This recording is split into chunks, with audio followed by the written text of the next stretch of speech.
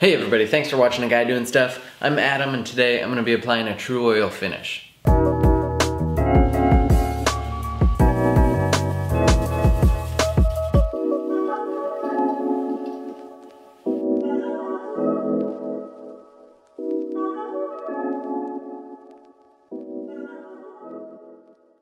There's literally an unlimited number of ways you can finish a guitar. It's one of those things that can get really complicated and overwhelming for a beginner. This process I'm about to show you I got from Eric Schafer's guitar building series. I learned most of what I know about guitar building from Eric's videos.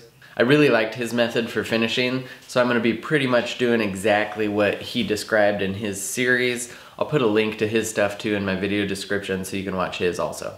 I'm going to be using several different products in this video, so I figured I'd explain all of them before I get started. I'll fill the porous woods with this Aqua Coat water-based pore filler, then I'll wipe the guitar down with naphtha to clean it, then I'm going to rub on Tru-Oil gun stock finish thinned with mineral spirits, and then I'll polish it with this StewMac polishing compound. I'll put links to all this stuff in my video description too. To prep for this, I spent a lot of time making sure everything was sanded down to 220 grit again. I put tape over the fretboard and the bridge because those don't get the tru-oil finish. And then I wiped everything down with naphtha. I also cleaned my whole shop this morning one more time just to reduce the dust. I'll be hanging my guitar from the ceiling when I'm applying the coat so it doesn't have to rest on anything. I just put a coat hanger through one of the tuner machine holes and hang it from a chain. I hold it by the neck when I'm applying the coats and then finish with the neck shaft while I'm supporting it by the taped fretboard. It's kind of a three-part process, so I'm gonna break the rest of this video down into sections. Ziricote and mahogany are really porous woods. It would take forever to build up enough oil to fill the pores, so I'm gonna use the aqua coat to fill them before I apply the tru-oil. I get a little bit of it on a paper towel and wipe it directly onto the wood it dries pretty quickly, so you'll want to do this in sections. I wipe it all over the area pretty generously, wait a couple seconds, then just wipe it right back off with a clean paper towel. Spruce is not a porous wood, so I'm not going to bother doing the soundboard. I put little strips of tape on the crevices at the neck joint here because it's kind of hard to clean the pore filler out of tight spaces. I'll take the tape off after I'm done sanding down the pore filler. I do the heel, then the headstock, then finish with the neck shaft. I wait an hour for it to dry, then come back and sand it down to the grain and clean it again. One coat's enough sometimes, but I want to be sure all the pores are filled, so I do that same process a second time. After I sand it the second round, I wipe everything down with naphtha, then I wipe it all down with a tack cloth.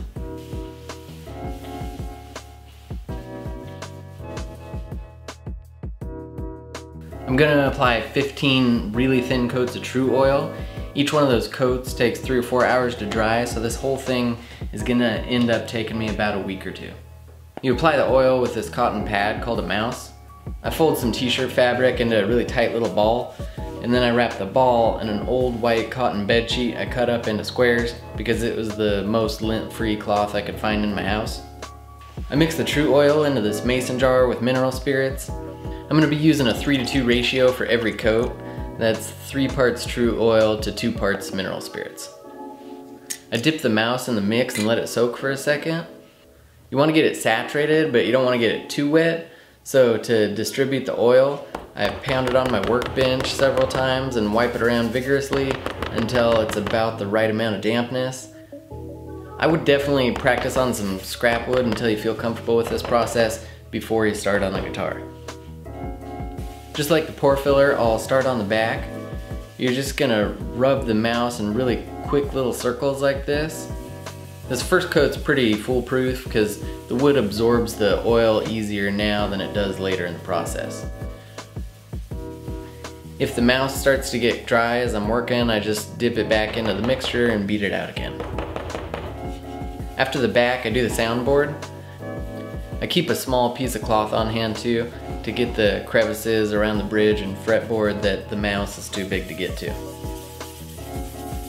Next I do the sides.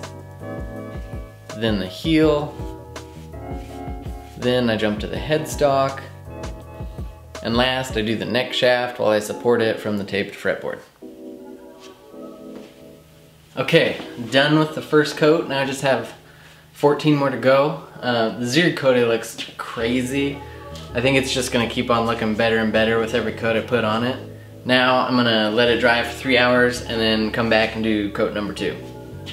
Before I start each additional coat, I lightly scuff it up with fine steel wool to prep the surface, then wipe it down with tack cloth to remove any dust. Again, I start with the back, then do the soundboard, then the sides, then the heel, then the headstock, and then the neck. Then I wait at least three hours and scuff, clean, and repeat. Here's the full third coat in fast motion so you can see it start to finish.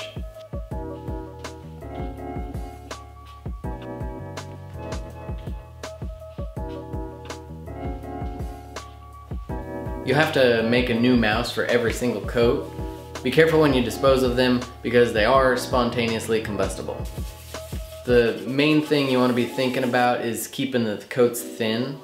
It's better to go too thin than too thick, especially when you're doing this 15 times. All it takes is one drip to make an imperfection that's gonna stick out like a sore thumb. Honestly, nobody is really gonna notice a drip except the builder, but still, we, we spent a lot of time building this guitar, so it's worth it to take your time and just do this as well as you possibly can.